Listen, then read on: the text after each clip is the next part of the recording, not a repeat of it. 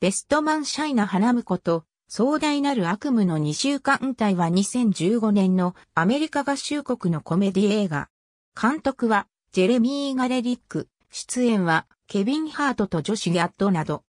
友達のいない花婿が結婚式の花婿付き添い人、ベストマンを花婿付き添い人斡旋会社の社長に頼んだことから巻き起こる騒動を描いている。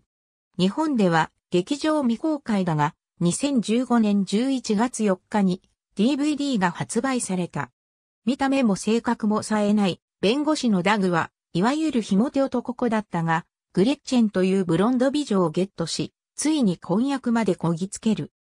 いざ結婚式の準備を始めたが、友達のいない地味なダグは、友人席に招くグルームズマムは愚か、友人代表としてパーティーを仕切ってくれるベストマンの当てさえない。自分に友人がいないことをグレッチェンに悟られまいと焦るダグは、花婿の付き添い人を提供している、ザベストマン株式会社のオーナー兼社長のジミーに依頼するが、事態は壮大なる悪夢へと転じていく。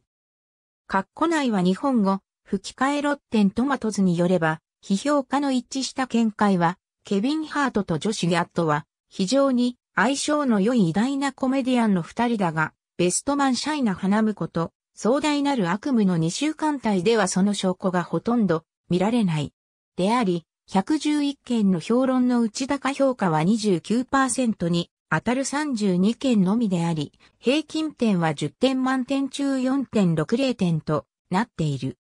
メトクリティックによれば、27件の評論の内高評価は6件、賛否混在は8件、低評価は13件、平均点は100点満点中35点となっている。